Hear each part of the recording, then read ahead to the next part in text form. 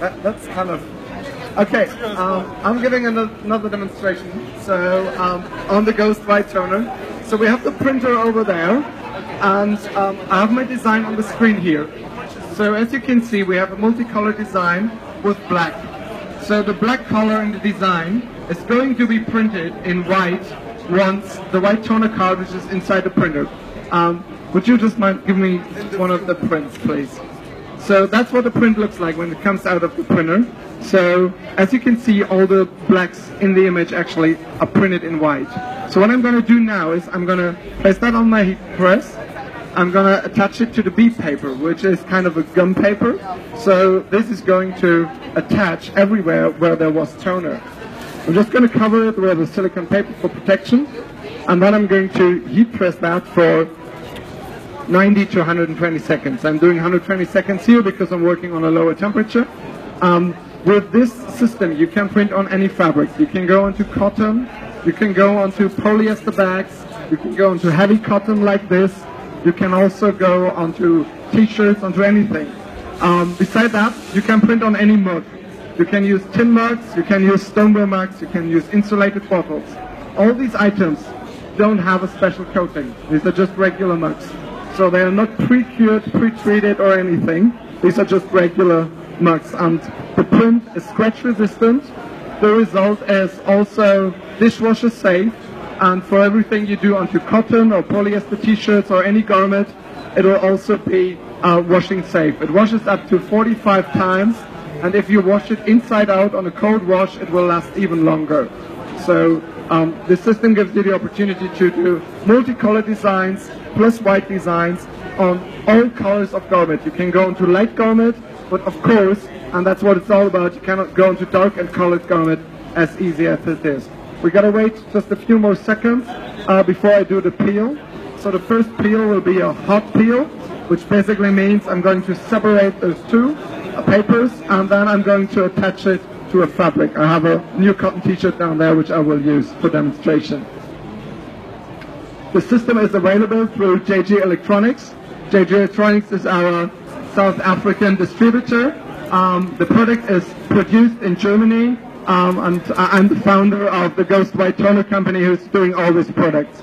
Um, we start out with these two printers. There's one model A4 printer uh, that starts at 7,500 7, rands and we have uh, a A3 printer that prints up to A3, same process that starts at 30,000 rands approximately. The total cost of a print on A4, including both the papers and the printing cost, would be between 35 and 45 rand, a little bit depending on how much color you really print. Okay? Now I'm going to do the separation. I'm going to wipe it quickly.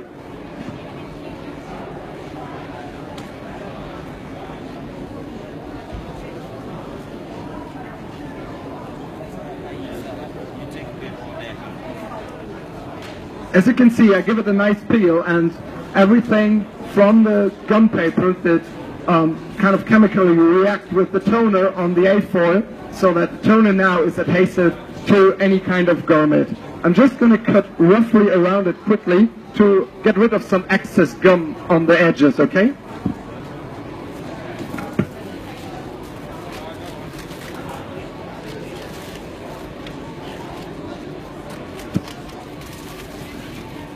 Okay, just cut around it quickly. And now I'm going to apply it to a cotton t-shirt.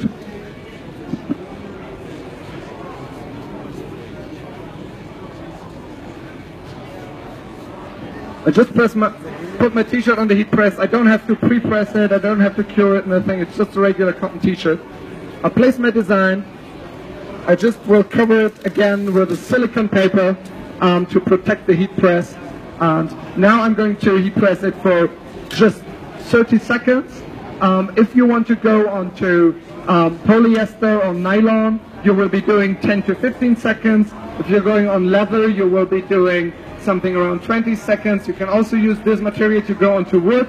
It depends on the thickness of the wood. You will be doing 15 to 20 seconds. So you got to figure out on the material, but once you know that, you will have a stable process that is really working nice. And it gives you multiple opportunities. Think of wood. You can do wood coasters. Think of felt. You can do felt table mats. think of polyester bags. You can do sports shirts with polyester garments, all these kind of things. So that was actually 33 second, seconds, but that won't harm us. Okay, now guys, I gotta get this cool, and I gotta get this quickly because we're on video here. So what I'm gonna do is, I'm gonna take it off the heat press, and I'm gonna put some papers on top of it, and the paper's going to suck the heat out of it. We call that German engineering. Thank you.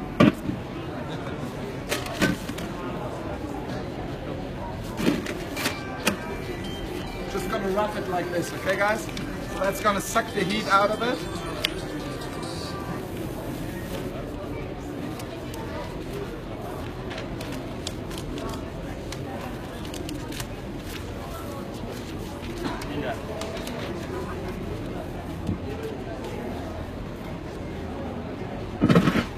Okay, this is fairly cold now. Um, so, how many of you have done vinyl transfer? Anybody does vinyl transfer? Okay, so would you do such a design with vinyl? It's a very detailed design as you can see. It's a four color design of course, but even in one color you won't do it. So I will peel it now. Actually I will weed it now. This is how I do weeding. Okay guys? That's everything. Okay, so you just peel down. Uh, you get a perfect transfer as you can see. Everything that's been on the foil is now attached to the garment. Um, so there's one final step left. Uh, we get to this quickly. Everybody sees it has a shiny finish. I will pass it around later. It has a shiny finish, okay guys? So what I'm going to do now is I'm going to heat press it again for just 5 to 10 seconds and I'm going to use two papers. I'll just show it to you.